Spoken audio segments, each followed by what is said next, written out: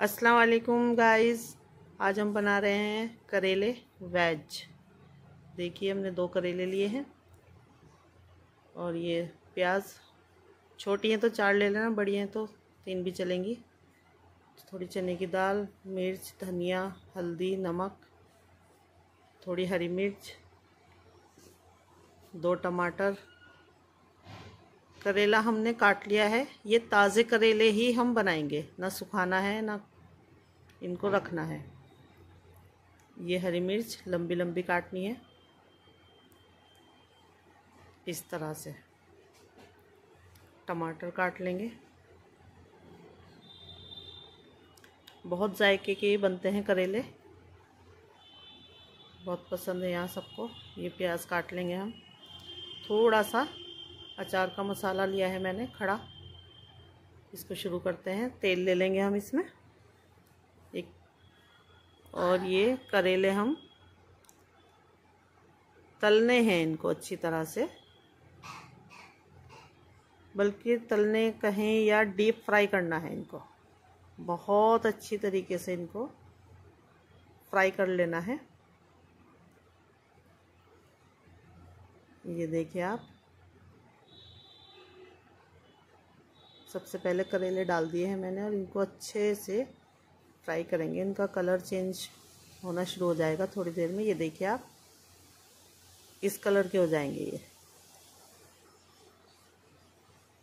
जब तक तलना है, जब तक इनका कलर ये वाला आ जाए। क्योंकि हमने बिल्कुल हरे करेले लिए हैं तो कड़वाहट ज़्यादा होती है। ये चिप्स की तरह हो जाएँगे बिल्कुल क्रंच इस टाइम इसके ऊपर हम डाल देंगे प्याज।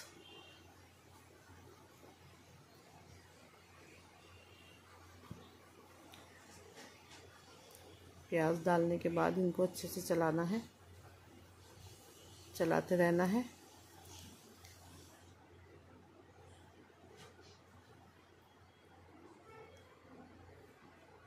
जैसे कि हमारा मकसद रहता है जल्दी पकाने का हर चीज़ और जायके की बनाने का। ये भी बहुत जल्दी बन जाते हैं। इसी के ऊपर ये मसाले डाल देंगे हम, जो हमने निकाले थे। और चने की दाल, एक घंटा भिगो लेना है चने की दाल को। ये थोड़ा टाइम लेती है गलने में। इसलिए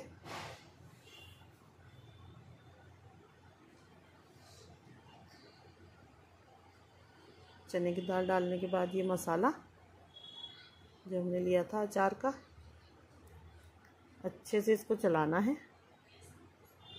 मिक्स करना है इसको, सभी मसालों को।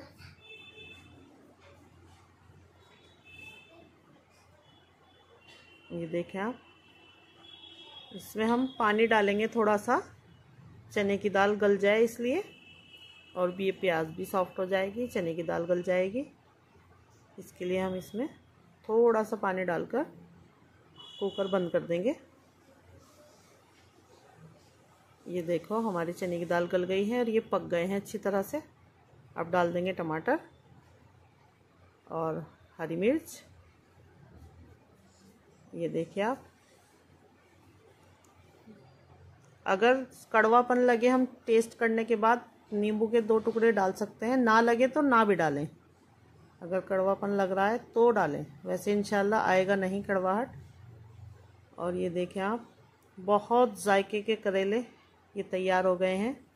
गाइज़ इसको लाइक करना शेयर करना सब्सक्राइब करना, मुझे कमेंट बॉक्स में बताना, ये आपको कैसे लगे? खुश रहें। अल्लाह हाफिज़।